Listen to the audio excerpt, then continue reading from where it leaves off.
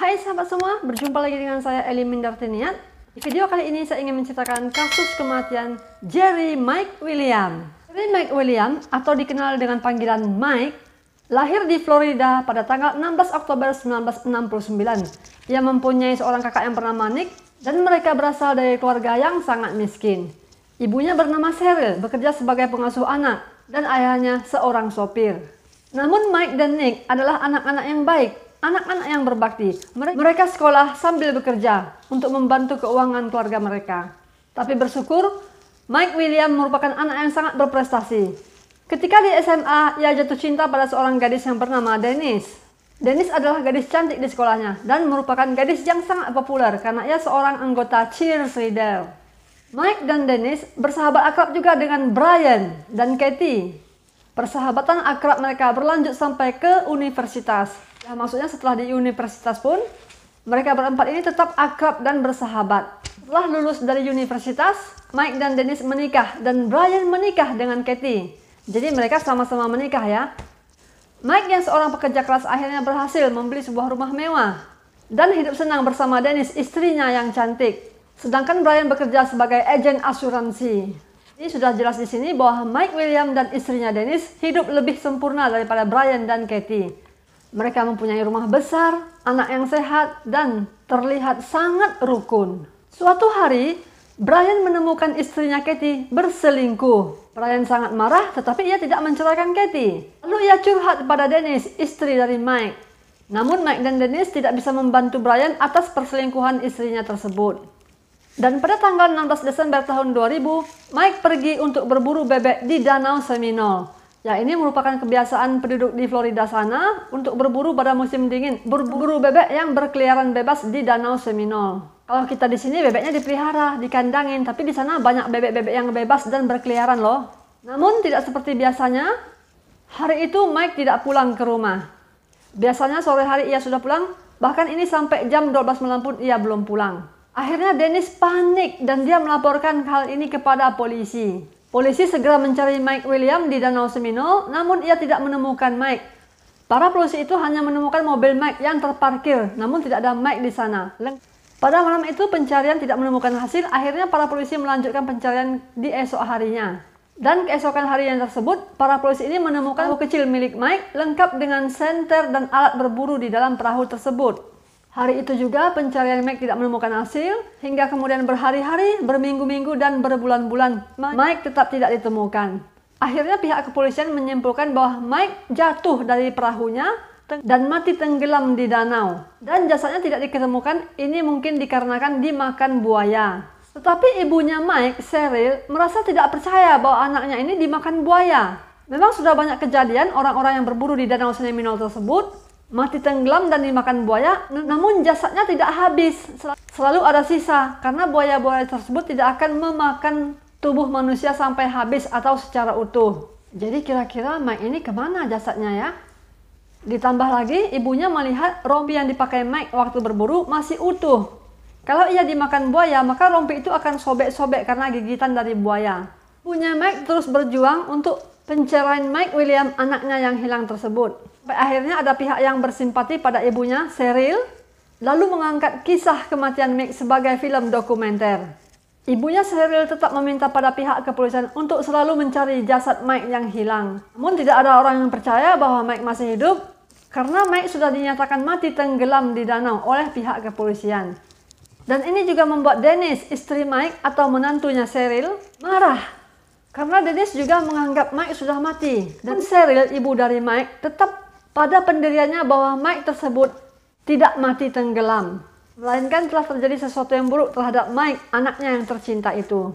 Sekitar enam bulan kematian Mike, istrinya Dennis segera mencairkan uang asuransi Mike yang sebesar 1.500.000 dolar Amerika atau sekitar 21 miliar kalau sekarang ya. Nilai yang sangat fantastis. Ibu Mike yaitu Cheryl tambah curiga karena beberapa waktu lalu Mike pernah curhat kepada bos di tempatnya bekerja bahwa ia mengalami kesulitan keuangan. Semua ini dikarenakan istrinya Dennis memakai kartu kredit hingga melewati limit yang sanggup dibayar oleh Mike. Namun Cheryl tidak punya bukti untuk menuduh menantunya yang telah berbuat jahat kepada anaknya. Sehingga polisi tidak melakukan penyelidikan apa pun apalagi menangkap Cheryl. Ya emang nggak ada bukti ya.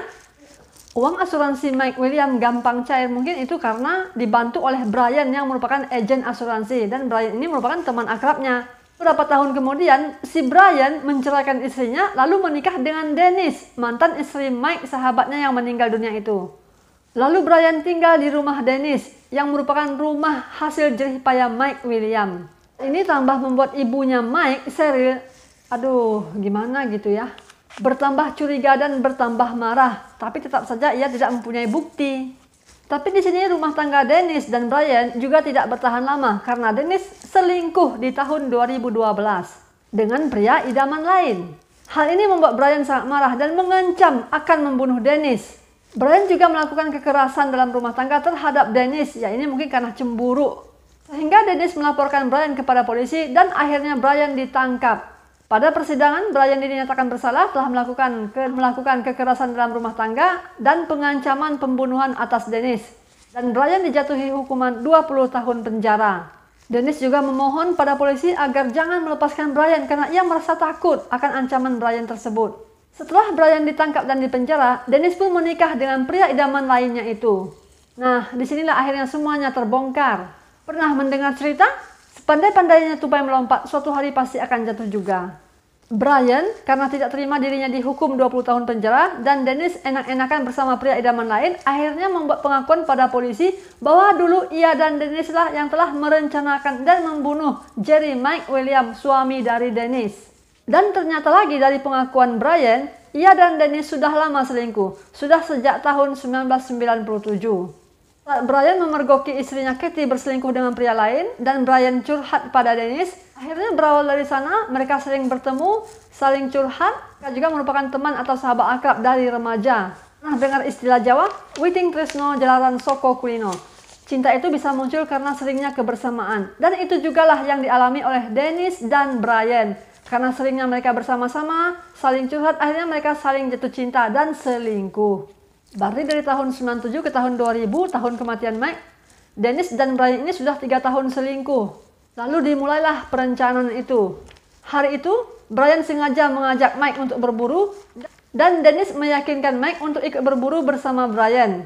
Brian dan Mike pergi ke Danau Seminole dengan mengendarai mobil masing-masing. Ya mungkin untuk menghindari kecurigaan apabila nanti terlihat Brian yang membawa Mike, maka Brian akan dicurigai sebagai pembunuh Mike. Sampai di Danau Seminole itu, Brian mengajak Mike ke tempat yang sepi, lalu sengaja mendorong Mike dari perahunya. Brian berpikir bahwa Mike akan jatuh dan tenggelam. Tetapi ternyata Mike bisa berenang dan ia berenang ke tepian sampai ia mencapai akar pepohonan. Hal ini membuat Brian takut dan segera menembak kepala Mike.